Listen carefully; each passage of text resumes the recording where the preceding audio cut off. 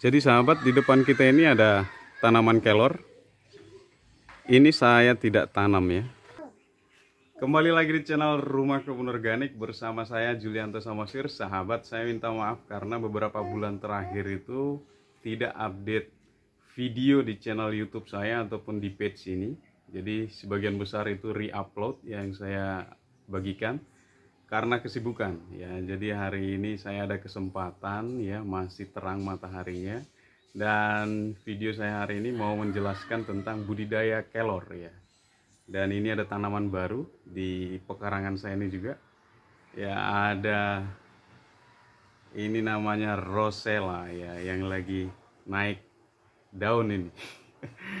Setelah bunga telang ini muncul sekarang rosella dan saya tanam beberapa bulan yang lalu. Nah ini sekarang kita hari ini tapi saya mau bahas tentang kelor ya. Karena ada yang nanya jadi saya akan coba buatkan videonya bagaimana cara budidayanya yang mudah ya. Jadi kita langsung saja ke video tutorialnya. Jadi sahabat di depan kita ini ada pohon kelor. Sebenarnya pada prinsipnya dia mirip seperti batang ubi atau pohon pepaya Jepang yang biasa juga disebut caya dan kelor serta beberapa jenis tanaman lain yang kita bisa budidayakan lewat batang. Nah, jadi pertanyaan yang apakah lebih baik dari biji atau batang? Saran saya memang lebih baik dari batang karena apa? Kalau batang itu kita bisa lebih cepat panennya ya. Seperti ini dibiarin aja udah rimbun ini. Jadi ini tanpa ditanam ya, Bapak Ibu ya. Tanpa ditanam hanya ditaruh saja di bagian bawah situ ya ini ada bagian ajir dulu yang sudah besar ya. Yang tumbuh hanya ditaruh saja syaratnya adalah waktu kita memotong rantingnya itu itu kita langsung taruh atau bersentuhan bagian ujungnya itu ujung akar ujung akar ujung bagian yang kita potong itu kepada tanah ya. Misalnya saya tadi potong di sini nih ya ya ini contoh batang kelor yang saya potong tadi. Bagian batang yang kita sayat pisau ini atau parang ini ini langsung kita tancepin atau kenakan di tanah ya. Jadi kalau boleh jangan biarkan dia menganggur tidak terkena tanah ya. Kemungkinan besar gagalnya itu mengirim atau membudidaya kelor itu karena batangnya sudah kering ya jadi mudah sekali.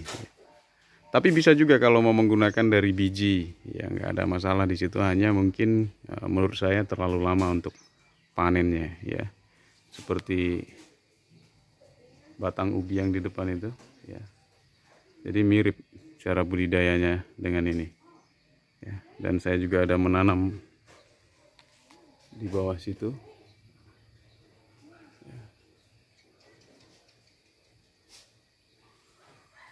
di sampingnya pepaya itu ada pohon caya. Saya tanam dari batang muda juga tumbuh juga ya. Jadi saya rasa tidak ada media tanam khusus untuk budidaya kelor, budidaya kelor ini. Hanya perlu diperhatikan itu saja.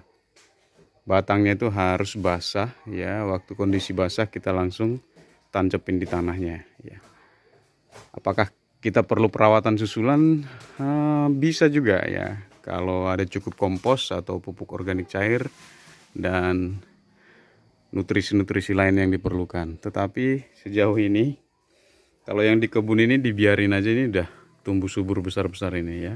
Bahkan ada yang saya hanya jadikan ajir aja ini. Ya.